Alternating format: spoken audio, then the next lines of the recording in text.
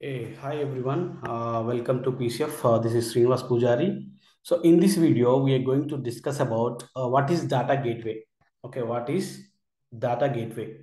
So where we'll use it? Okay, so the topic is what is data gateway, and then types of uh, data gateway, and then difference between the uh, both of them, and then so how to install the data gateway. So we'll, you know, so in this video, I'm going to install the standard gateway. Okay. Okay. How to install the standard gateway, I'm going to explain. So now, so what is gateway? So like, so all you know about the no architecture, like, so how the data is, so Power BI taking the data from different, different sources. Okay. So different, different sources, and then uh, it will take into the Power BI desktop. Power BI desktop is a developer tool so it will take the data into Power BI desktop, then it will publish into Power BI service. Okay, so here we have two types of sources. Like one is on-premises sources and another one is online sources. Why the gateway in come into the picture means, so we have a two types of sources. One is on-premises sources and another one is uh, cloud sources. Like uh, whatever the cloud sources is there, Azure and other and HTTPS, okay so those are comes under you know um, https okay so let's go with the black okay so let me you know uh, right here. Okay which are having you know https or azure some other sources will uh, web sources will comes under online sources. Okay so these are the online sources. And then uh, files um, sql server. Okay sql server these are comes under offline sources offline sources or on-prem sources okay we'll call it as a sources. Okay on-premises sources.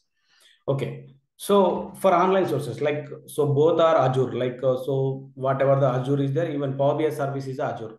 Okay so both will be sync. Like how you know uh, the lake water. So if the lake water is going and then if you want the lake water into farming then just you have to cut down the um, the barrier so just uh, it will you know the water will flow into the fields but uh, if uh, a borewell is there from borewell if you want a water in the field so you need a one motor okay so that is a gateway so offline sources is something like that a borewell so from bore uh, from bores okay you want water into the fields then you will go with the gateway only for offline sources or on-premises sources, you require a gateway. But online sources, you don't require any gateway.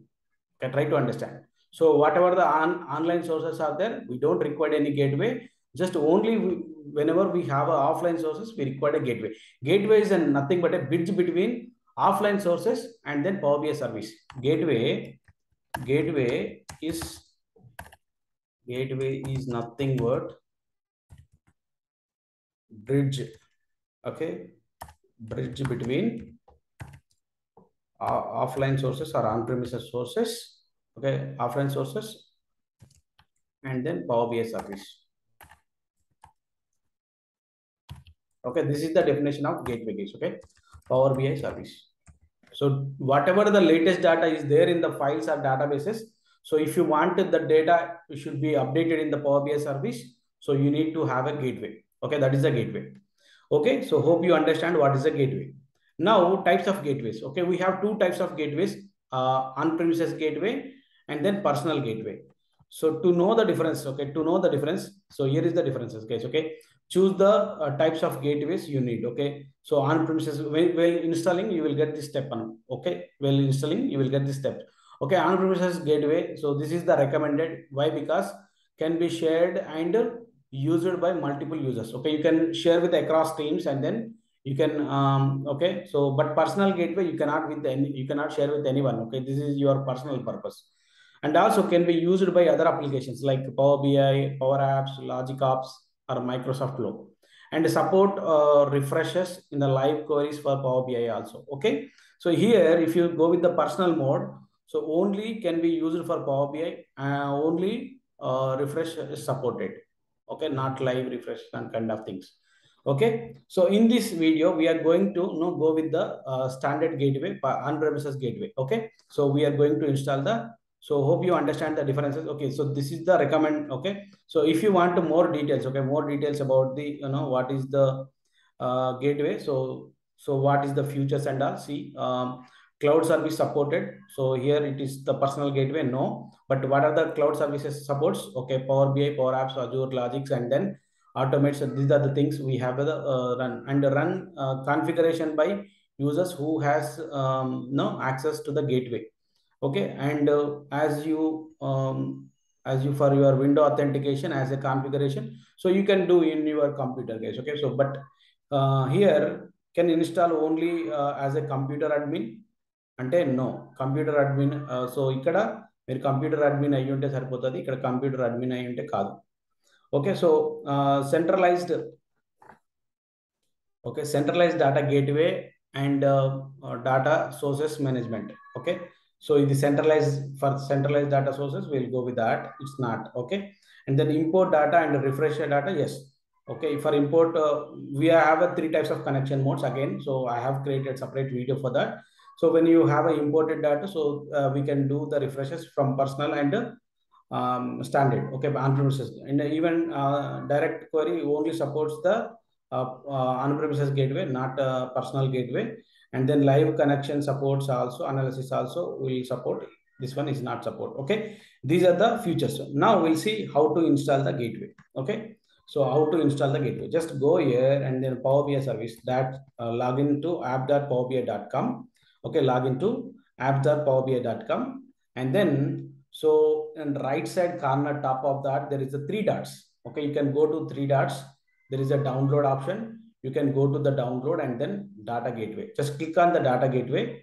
So it will open one uh, site. Okay. So here I am, so I'm not going with the, so there are two types of uh, uh, gateways, right? So two types of gateways.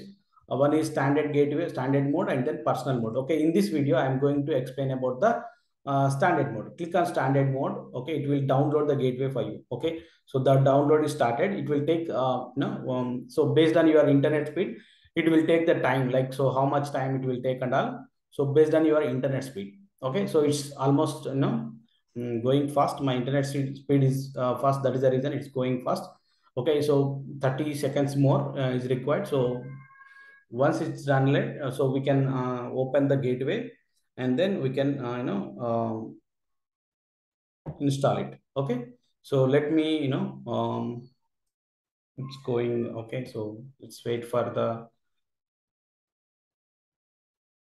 okay so yeah it's done okay. So let me go to the downloads okay. You uh, you have to go with the uh, downloads okay. Just go to downloads uh, so so this is the uh, gateway looks like okay. This is the gateway. So if you download the personal gateway the personal gateway looks like this case okay. Uh, both uh, personal gateway looks like this and then um, standard gateway looks like this okay. So now let's click on this um, uh, run the gateway file now okay. Just uh, i'm just double click the uh, so i have clicked uh, double clicked on that um, gateway install. So standard mode uh, it will open like this okay where you want to you know c drive or e drive. So if you want to change some other location you can go but uh, for now i'm going with the default location and then uh, accept that and then install. Click on install. So it will asking okay yes you can click on yes. So yeah so yeah. Click on yes. Okay it will start you know installing the gateway so see so again this is again you are based on your you know internet speed base okay? So it's going very fast. Okay so let me take the so it will ask the you know, user uh, like uh, the credentials. So whatever the uh, username you have in the power bi service. So again how to create this account and all so i've explained very clearly guys. Okay i've explained very clearly. Mm. so let me go here.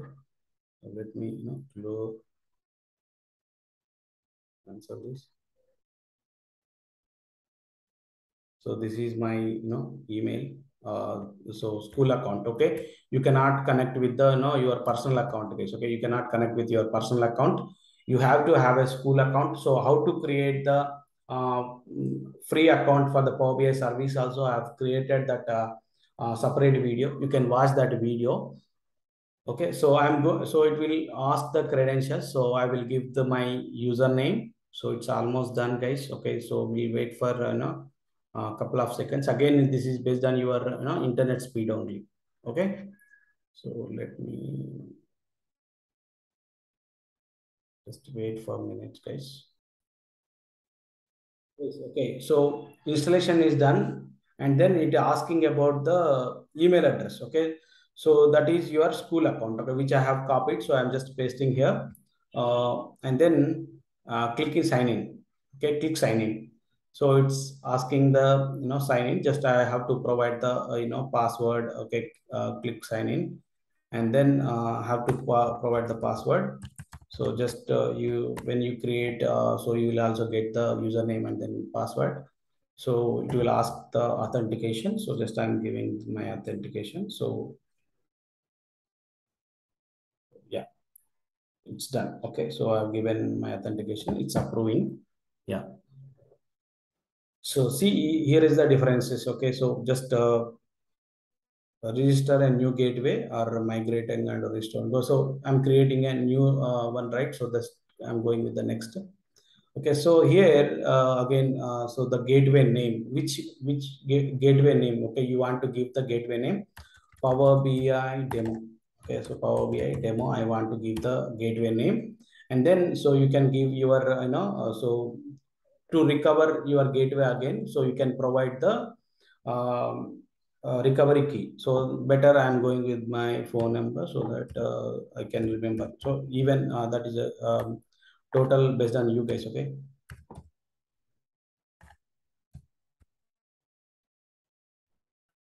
Okay, the same uh, key. Uh, so confirmation I need to provide.